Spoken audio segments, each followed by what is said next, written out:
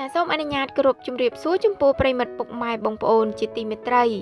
ចាខណៈពេលនេះដែរសូមបងប្អូនអារម្មណ៍ពុកម៉ែបងប្អូនមកទទួលជ្រាបនៅអត្ថបទព័ត៌មានកំសាន្តមួយ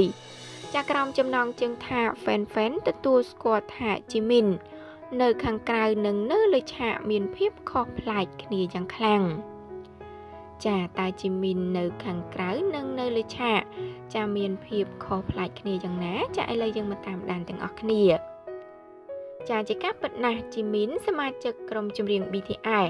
ដ៏ល្បីរបស់កូរ៉េត្រូវបានគេស្គាល់ថា ជាបរិះដែលមានភាពផ្អែមល្ហែមពុះពេញដោយទឹកចិត្តសប្បុរសថែមទាំងជាកំឡុះសិចស៊ីចាដែលអាចពង្ពួក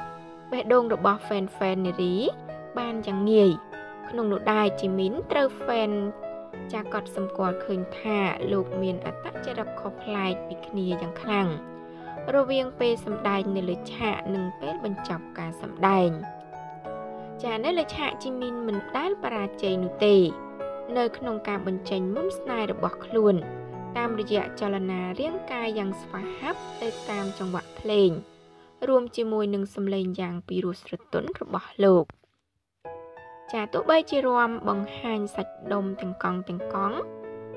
ចានៅពីមុខអ្នកគ្រប់គ្រងរាប់ពាន់អ្នកជីមីនហាក់ដូចជាមិនបាត់បង់ភាពជឿជាក់បន្តិចសោះឡើយ ចាលោកនៅតែបន្តការស្ដែងយ៉ាងមានទំនុកចិត្តចាជាលទ្ធផលសម្លេងស្រែកយ៉ាងច្រើនកុះកពីសំណាក់ fan fan បានបង្ហាញថាលោកពិតជាអាចធ្វើឲ្យពួកគេ ទទួលបានអារម្មណ៍រំភើបចំពោះការសម្ដែងមួយនោះ ចាជាការពិតជីមីនគឺជាមនុស្សដែលមានភាពខ្មាស់អៀននៅខាងក្រៅឆាកសំបីតែ fan fan សរសើរលោកម្ដងម្ដងជីមីនខ្មាស់អៀនខ្លាំងណាស់ថែមទាំងយកដៃខ្ទប់មុខសើចរហូតទាល់តែមុខក្រហមក៏មាន